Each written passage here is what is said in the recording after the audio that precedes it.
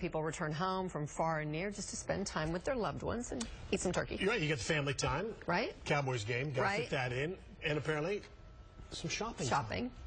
Black Friday officially starts at midnight Thanksgiving night. A lot of retailers and malls are opening up their shopping time starting at 8 o'clock Thanksgiving night. Fox 4 Sean Rabb looks at what's behind this hurry up to the holiday shopping. Little Esther Sophia can't seem to get ready for Santa Claus. The symbol of Christmas season and shopping.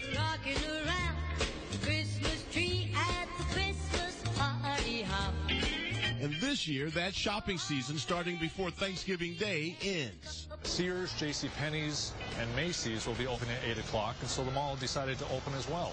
It'll probably be better. There won't be such a crowd, and like, I mean, it'll take away from families. And while that bothers Brianna Bryant, retailers have put the Christmas shopping season on the fast track. And the list of retailers opening at 8 o'clock on Thanksgiving night, well, it's growing. Toys R Us, Best Buy, Kohl's, and others. All retailers trying to give themselves a gift this holiday season, a competitive edge.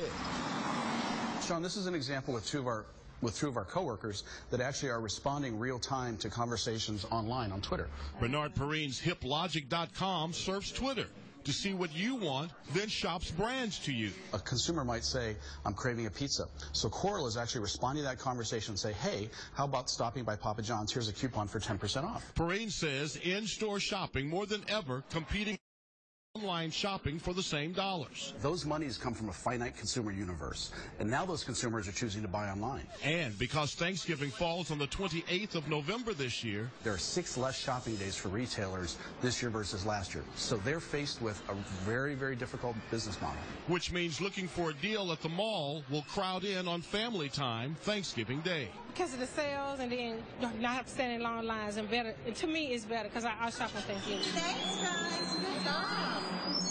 And we'll all have to accept Christmas shopping starting before Thanksgiving ends. Let the Christmas spirit ring. Sean Rabb, Fox 4 News.